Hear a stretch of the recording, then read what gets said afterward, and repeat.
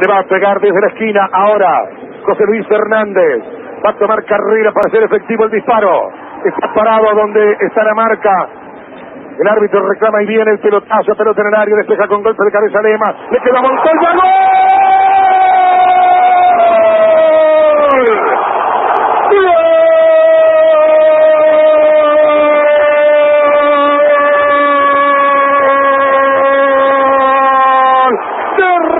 Rosario Central Walter Montoya, cañazo de afuera del área. Cayó el córner en el área de Belgrano. Despejó Lema con golpe de cabeza. La agarró Montoya de sobrepique. Se llenó el empaine de cuero. La pelota salió como un misil para vencer la resistencia de Olave. Meterse en el caño izquierdo, en el ángulo izquierdo del arco de regatas. Y después no podían pararlo a Montoya que corrió toda la cancha gritando el gol de la apertura. Central le gana Belgrano por 1 a 0. Cañazo de Montoya de afuera del área. Es justo el resultado, Central merecía el gol, era la cuarta situación que se generaba en este partido.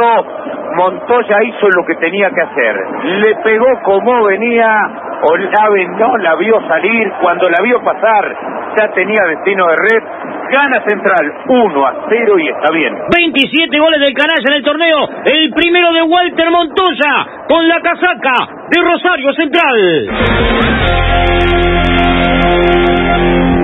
Álvarez la tira fuera del campo. El que va a corresponder a Central. Frente al área rival de espaldas a Cordiviola hacia el lateral Salazar. Salazar la pone en el área penal. Enganchada Marco Rubén y lo derribaron. Lo derribaron un metro y medio adentro del área. El goleador canalla. Lo tocaron. El árbitro estaba apenas a dos metros. No dudó. Nadie le protesta al árbitro Lustó. Penal para Central Giglione. El goleador del campeonato. Marco Rubén con manos en jarra. Cuatro pasos de carrera. Arco que da sobre Avenida Génova. Brilla el sol en Rosario. Se fueron las nubes sobre el río Paraná. Se preparan las gargantas canallas. Va a ir el goleador. Marco Rubén tomará carrera. A los cuatro minutos da la orden el árbitro. Viene Marco Rubén. ¡Gol!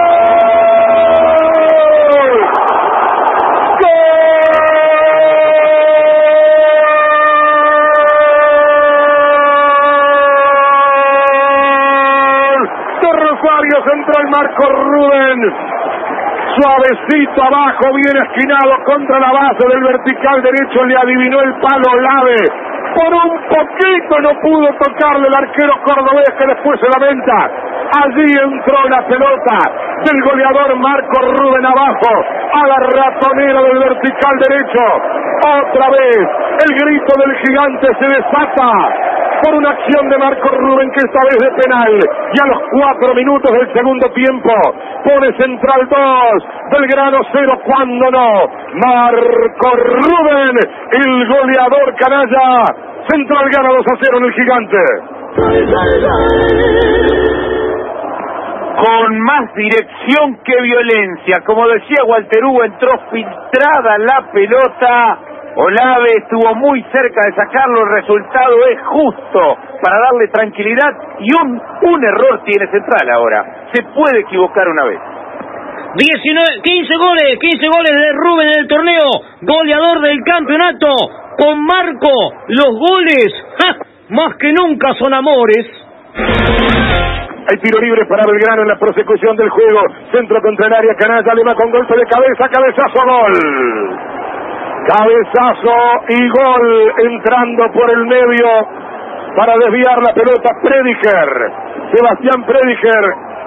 Los viejos sabían algo de estas cosas. Dos cabezazos en el área terminan en gol, ¿no? Cabeció Leva por el segundo palo, la cambió al medio. Prediger la empujó. La pelota pegó en el travesaño, picó adentro. Descontó el conjunto cordobés. Tempranito nomás. A los seis minutos Vino el golpe de cabeza de Prediger. 2 a 1 el partido, Claudio. Tenía un margen de rol central, de, de error, ya lo gastó. Ahora yo me pregunto una cosa. ¿Caranta no piensa salir nunca?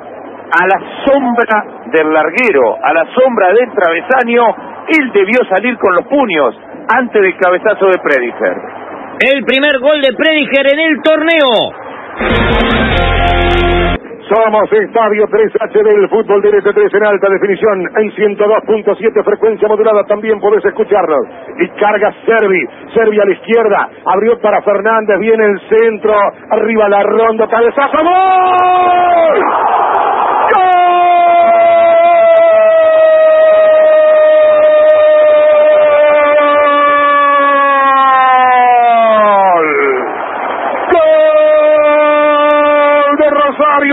Central, la Rondo, Marcelo la Rondo con golpe de cabeza, el desborde de José Luis Fernández, el centro de espaldas de Lema, arriba la Rondo, ganó sobre el borde del área, metió el frentazo, entró por el centro del arco para vencer a Olave, Marcelo Larrondo con golpe de cabeza anota el gol.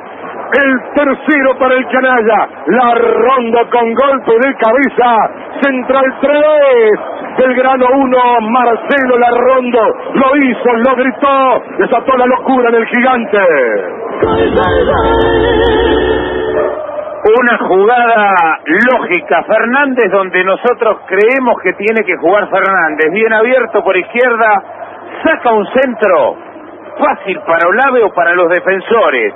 ¿Qué es lo que tiene de raro? Que la Rondo, prácticamente parado y sin oposición, mete cabezazo, hace un paso para atrás y termina metiéndole testazo. La defensa de Belgrano no marcó ni al hombre ni a la pelota. 3 a 1 y Central recupera otra vez el margen de un error. El primer gol de Marcelo Larrondo con la casaca azul.